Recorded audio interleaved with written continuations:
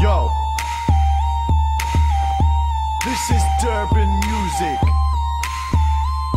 Cause the herb dirt